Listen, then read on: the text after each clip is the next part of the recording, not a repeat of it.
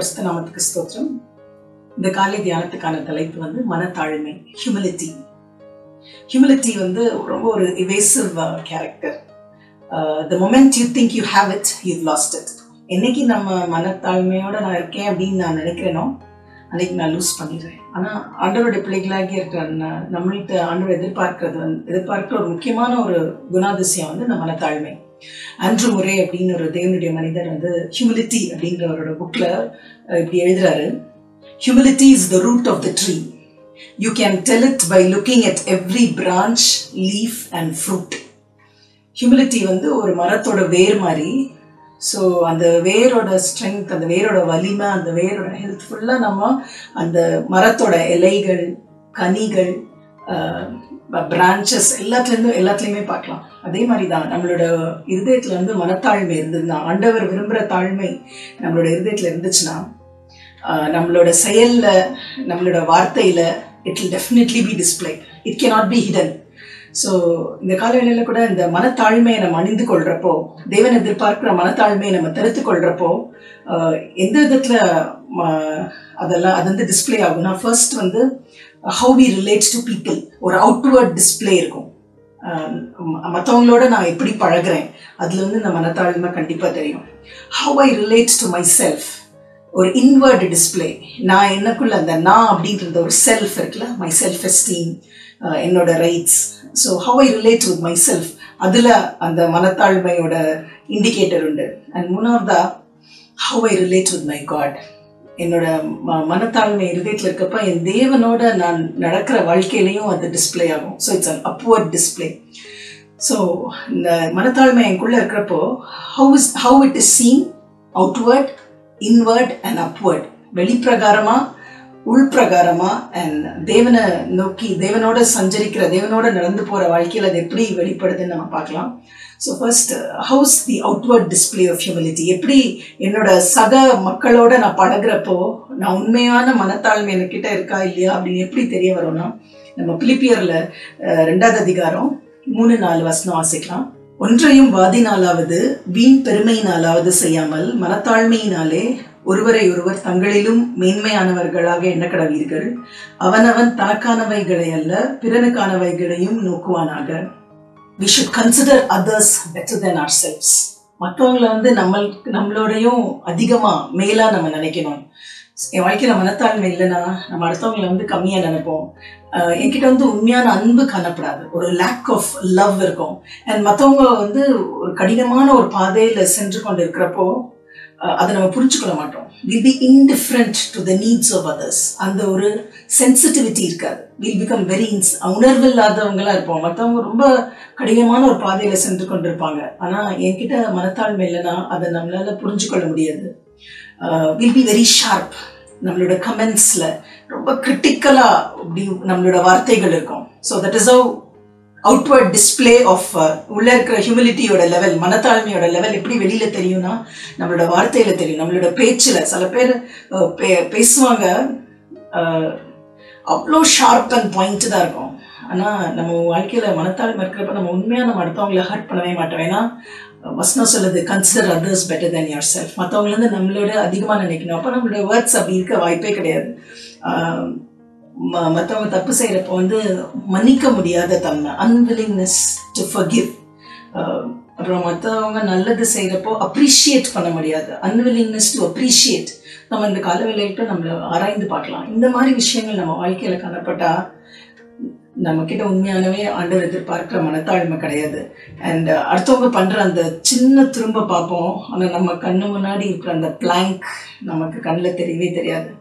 So இந்த காலவேளையில் நம்ம ஆராய்ந்து பார்க்கலாம் ஆண்டவர் எதிர்பார்க்கிற மனத்தாழ்மை நமக்குள்ள இருக்கணும்னா அடுத்தவங்களை வந்து we should consider others better than our selves நம்மளோட வார்த்தையில நம்மள அவங்கள பார்க்குற விதத்துல அந்த ஒரு உணர்வுள்ள பார்வை அந்த அன்பான செயல்கள் மன்னிக்கிற மன்னிக்கிற நட நடத்தை அண்ட் அடுத்தவங்களை அப்ரிஷியேட் பண்ணுற வேர்ட்ஸ் அதெல்லாம் நான் என்னோட மற்றவங்களை ரிலேட் பண்ணுறப்ப இருந்தால் தான் ஆண்டவர் எதிர்பார்க்க மனத்தாழ்மை வந்து இட் இஸ் டிஸ்பிளேட் அவுட்வர்ட்லி அப்புறம் ஹவுஸ் இட் டிஸ்பிளேட் வித்தின் ஏன்னா என் நான் என்னோட ரிலேட் பண்ணுறப்ப இந்த மனத்தாழ்மை எப்படி டிஸ்பிளே ஆகும்னா சிஎஸ் லூஸ் அப்படின்ற ஆத்தர் எழுதுறாரு humility is not thinking less of your self but thinking of your self less நிறைய நேரம் நம்ம முன்னாடி சொன்னது மாதிரி எந்த நிமிஷம் நான் மனத்தாழ்மையா இருக்கிறேன்னு நம்ம நினைக்கிறோமோ அந்த நிமிஷமே அதை நம்ம இழந்துருவோம். So when I relate with my self எப்பெல்லாம் நான் இரிட்டேட் ஆகிறனோ அப்பெல்லாம் there is something that is hurt within me என்னோட ப்ரைட் வித் இஸ் ஹர்ட் அன்னைக்கு அதனால தான் நம்ம ஹர்ட் ஆகிறோம் ஆஹ் பவுல் எழுதுறாரு ஐ டை டெய்லி அப்படின்னு எழுதுறாரு. ஸோ ஏதோ ஒரு காரியம் வந்து நம்மளை irritate பண்ணிடுச்சுன்னா it is something that is alive with சரியா? ஒவ்வொரு நாள் ஆண்டவரே நீ I crucify my self it's no longer I that liveth அப்படின்னு போல எழுதாரு நான் வந்து இனி ஜீவ ஜீவிப்பது நான் அல்ல கிறிஸ்துவே எனக்குள் ஜீவிக்கிறாருன்னு. ஸோ ஏசுசாமி நமக்குள்ள இருந்தாருன்னா அவரோட மனத்தாழ்மை நமக்குள்ள இருக்கணும். நம்ம வாழ்க்கையில் ஒரு வேலை பிட்டர்னஸ் காணப்பட்டுச்சுன்னா கசப்பு இந்த இரிட்டேஷன்லாம் நம்ம வாழ்க்கையில் காணப்பட்டுச்சுன்னா அந்த இன்வர்ட் டிஸ்பிளேல இதெல்லாம் ப்ராப்ளம் இருந்துச்சுன்னா நம்ம வாழ்க்கையில் மனத்தாழ்மை இல்லை. நிறைய பேர் வந்து uh, லோன்லினஸ் ஃப்ரஸ்ட்ரேஷன் சில காரியங்களை அவங்களால ஏற்றுக்கவே முடியாது. எப்பயுமே எப்பயுமே ஒரு வருத்தமாக uh, Uh, ரொம்ப இரிட்டேட்டடாக ஃப்ரஸ்ட்ரேட்டடாக இருப்பாங்க.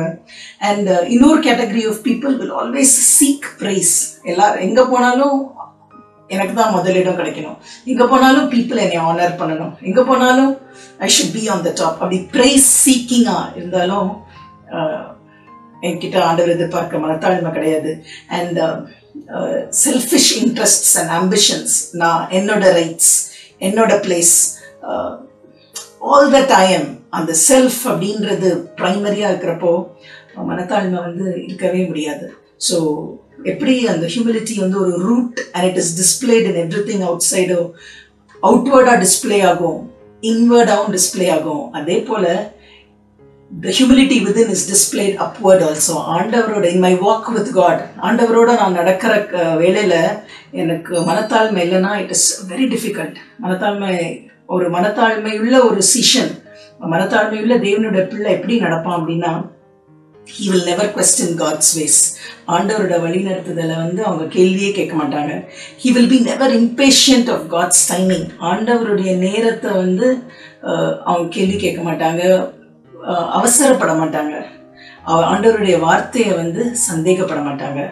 So how's you walk with God ஆண்டவர் ஒருவேளை நம்ம அந்த காலையில் கொஸ்டின் கேட்டுட்டு இருந்தோம்னா that is also a symptom of pride with us if I am humble, I uh, humility is absolute submission to God's ways. ஆண்டவருடைய வழிகளுக்கு நான் அப்சல்யூட்டாக நான் சரண்டர் பண்ணுறேன்னா that is humility humility is absolute trust ஆண்டவரை என்ன நடந்தாலும் பரவாயில்ல. ஹாவ் யுவர் ஓன் வே அப்படின்றது தான் it's humility and humility is absolute dependence நீங்கள் இல்லைன்னா என்னால் ஒன்றும் செய்ய முடியாது. எனக்கான வேலைகள் எனக்காக நான் செய்ய வேண்டிய காரியங்கள் என்னோட பொறுப்புகள் எல்லாத்துலேயும் லாட் டேக் கண்ட்ரோல் அப்படின்னு நான் என்னைக்கு அவரை கம்ப்ளீட்டாக சார்ந்திருக்கேனோ அதுதான் கம்ப்ளீட் ஹியூமிலிட்டி அன்றுமுறை இப்படி எழுதுறாரு humility is perfect quietness of heart it is to expect nothing to wonder at nothing that is done to me to feel nothing done against me it is to be at rest when nobody praises me and when I'm blamed or despised. It is to have a blessed home in the Lord, where I can go in and shut the door and kneel to my Father in secret. And I'm at peace as in a deep sea of calmness when all around and above is trouble. So மனத்தாழ்மைக்கு அவர் எவ்வளோ எப்படி define பண்ணுறாருன்னா it is perfect quietness of heart ஒரு ஒரு அமைதி பர்ஃபெக்டான ஒரு அமைதியை தான் ஹியூமிலிட்டின்றார் ஏன்னா நான் யார்கிட்டையும் எதுவும் எதிர்பார்க்கல. என் எனக்கு அகேன்ஸ்டாக யார் எது பண்ணாலும் நான் டிஸ்டர்ப் ஆக போகிறதில்ல ஏன்னா என்னோட என்னோட வீடு மாதிரி என்னோட உறைவிடம் என்னோட தங்குற இடம் வந்து ஆண்டவர் அவருடைய சமூகம். அவரை மிஞ்சி எதுவும் என்னை தாக்க போகிறதில்ல யார் போடுற ஸ்கீம்ஸோ யாரோட வார்த்தைகளோ அதை என்னை தாக்க போகிறதில்ல so he is my home and அவருக்குள்ளே நான் மறைந்திருக்கிறப்போ எதுவுமே என்னை ஹர்ட் பண்ண போகிறதில்ல அப்போ எனக்கு வந்து அவரோட ஆழமான அமைதி கிடைக்குது. அதான் உண்மையான மனத்தாழ்மை. மனத்தாழ்மைக்கு வந்து எபிட்டோம் வந்து இயேசுசாமி தான். மனத்தாழ்மையோட எம்பாடிமெண்ட்டே ஜீசஸ் தான். ஏன்னா நம்ம பிலிப்பிய ரெண்டில் பா வாசிக்கிறோம் அவர் தேவனுக்கு சமமாக இருந்ததை வந்து கொள்ளையாடின பொருளாக எண்ணாமல் தன்னைத்தான் தாழ்த்தி சிலுவையின் மரண பரியங்கம் தலைத்தால் தாழ்த்தினார் நம்ம வாசிக்கிறோம். So he's the epitome of humility and அவர் சொல்றாரு கம் டு மீ வருத்தப்பட்ட பாரம் சொல்றவங்க என்கிட்ட வாங்க. I am meek and gentle in heart நான் வந்து என்கிட்ட வந்து கற்றுக்கொள்ளுங்கன்னு ஆண்டவர் சொல்றாரு. ஆண்டவரோட வாழ்க்கையிலேருந்து ஒரே ஒரு இன்சிடென்ட் மட்டும் பார்க்கலாம். யோவான் பதிமூணு அதிகாரம் மூணு நாலு அஞ்சு வாசிக்கலாம். தம்முடைய கையில் பிதா எல்லாவற்றையும் ஒப்பு கொடுத்தார் என்பதையும் தாம் தேவனிடத்தில் இருந்து வந்ததையும் தேவனிடத்திற்கு போகிறதையும் இயேசு அறிந்து போஜனத்தை விட்டு எழுந்து வஸ்திரங்களை கழற்றி வைத்து ஒரு சீலையை எடுத்து அறையிலே கட்டிக்கொண்டு பின்பு பாத்திரத்தில் தண்ணீர் வார்த்து சீஷருடைய கால்களை கழுவவும் தாம் கட்டிக்கொண்டிருந்த சீலையினால் துடைக்கவும் தொடங்கினார். Jesus washing the feet of the disciple வந்து ஒரு it was an act of humility ஒரு லீடர் வந்து டிசைபிள்ஸோட காலை ஒரு மாஸ்டர் வந்து அவங்க டிசைபிள்ஸோட காலை வந்து கழுவுறது வந்து அன்இமேஜினபிள் திங் அந்த காலத்தில். ஆனால் எஸ் சுவாமி வந்து உங்களுக்கு எக்ஸாம்பிளாக நான் செய்கிறேன் அப்படின்னு சொல்லி செய்கிறார் அந்த அந்த ஆக்ஷன் அந்த கால் கழுவுறதுக்கு முன்னாடி அந்த மூணாவது வசனம் எவ்வளோ அழகான ஒரு வசனம் பாருங்களேன். ஒரு ட்ரூ ஹியூமிலிட்டியோட உண்மையான பெர்ஸ்பெக்டிவ் அங்கே இருக்கு. தம்முடைய கையில் பிதா எல்லாவற்றையும் ஒப்பு கொடுத்தார் என்பதையும் தாம் தேவனிடத்திலிருந்து வந்ததையும் தேவனிடத்திற்கு போகிறதையும் அறிந்து இதை அறிஞ்சு அவர் வந்து கால் கழுவ அந்த ஆக்ஷன் போறாரு. ஸோ ட்ரூ ஹியூமிலிட்டியோட உண்மையான பெர்ஸ்பெக்டிவ் என்னன்னா number one you should know whose you are தம் தம்முடைய கையில் பிதா எல்லாவற்றையும் ஒப்பு கொடுத்தார் என்பதை அறிந்து Jesus knew that father had put all things under his power உண்மையான ஹியூமிலிட்டி எப்போ வரும்னா நோ ஹூஸ் யூ ஆர் அவருக்கு தெரியும்.